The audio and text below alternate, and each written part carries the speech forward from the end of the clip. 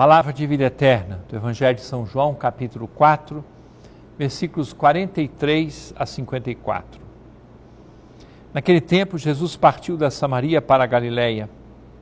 O próprio Jesus tinha declarado que um profeta não é honrado em sua própria terra. Quando então chegou a Galiléia, os galileus receberam-no bem, porque tinham visto tudo que Jesus havia feito em Jerusalém durante a festa. Pois também eles tinham ido à festa. Assim Jesus voltou para Caná da Galiléia, onde havia transformado a água em vinho. Havia em Cafarnaum um funcionário do rei que tinha um filho doente. Ouviu dizer que Jesus tinha vindo da Judéia para a Galiléia. Ele saiu ao seu encontro e pediu-lhe que fosse a Cafarnaum curar seu filho que estava morrendo. Jesus disse-lhe: Se não virdes sinais e prodígios, não acreditais. O funcionário do rei disse: Senhor, desce antes que meu filho morra. Jesus lhe disse: Podes ir, teu filho está vivo. O homem acreditou na palavra de Jesus e foi embora.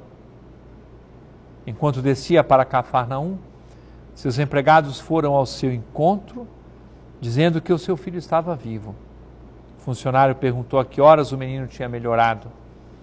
Eles responderam: a febre desapareceu ontem pela uma da tarde. O pai verificou que tinha sido exatamente na mesma hora em que Jesus lhe havia dito: Teu filho está vivo. Então ele abraçou a fé, juntamente com toda a sua família.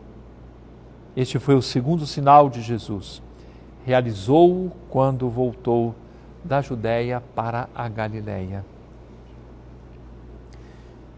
Que jeito magnífico de começar esta semana. Não sei qual é o problema que você tem, mas você pode entregá-lo a Jesus. Mas quero perguntar a você e a mim se temos à disposição para encontrar uma resposta de Jesus. Podes ir, teu filho está vivo.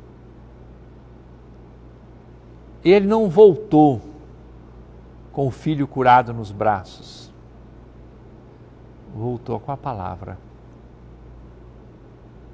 Bastou-lhe a palavra.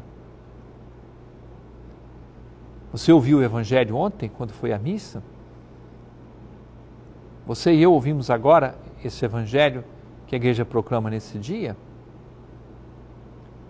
Basta-nos a palavra?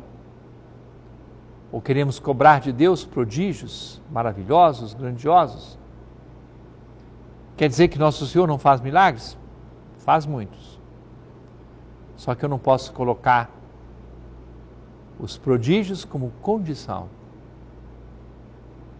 é necessário deixar a liberdade do coração e das mãos de Deus. Não dá para exigir dele. E ele nos oferece a mesma garantia: a palavra, a força da Sua palavra, a força do seu amor. Estejamos dispostos a acolher o jeito de Deus entender as coisas. É palavra de vida eterna.